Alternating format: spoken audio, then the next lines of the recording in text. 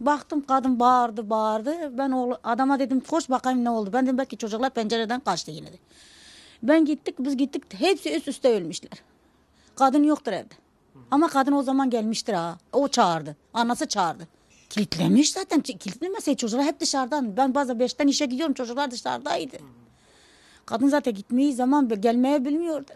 Görüşüyor tabii. Dün akşam, evveli akşam onlara bir tencere yemek yaptım oğlum. Her gün yapıyordum o çocuklar. Aç gitti. Yok yok git eve git. Hiçbir şey yok. Bir adam Allah razı olsun günü bir poşet simit getiriyor onlara veriyor. Başka bir şey yok. Başka bir şey yok. O çocuklar aç gitti. Ben içeri gitmedim duman dolu. Sada anası ma- aldı çocukları dışarı attı. Aldı çocukları dışarı attı. Ben zaten gördüm ben dayanamadım kaçtım. O çocukları güzeli ve o çocukları suçu.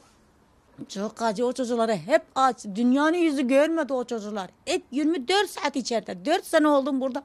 O çocuklar sadece bazı büyükü pencereden kaçıyordu bana geliyordu. O çocuklar 24 saat içeride.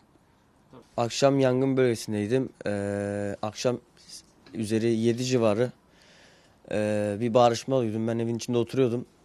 Esma teyze, Esma teyze bir bağırışma oldu. Annem dışarı koştu, babam dışarı koştu. Karanlık bölge olduğundan babam ışık, ışığı alıp gitti. Çocuklarım öldü öldü diye bir bağırışma vardı zaten.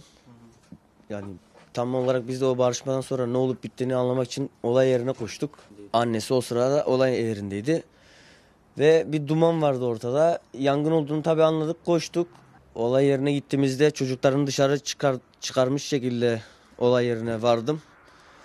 İçeride duman vardı işte. Elektrikli sobanın devrilmesi sonucu yangının çıktığını anlatıyordu o anda. Çocuklar yerdeydi, beşi de. Yani gördüklerim bu kadar.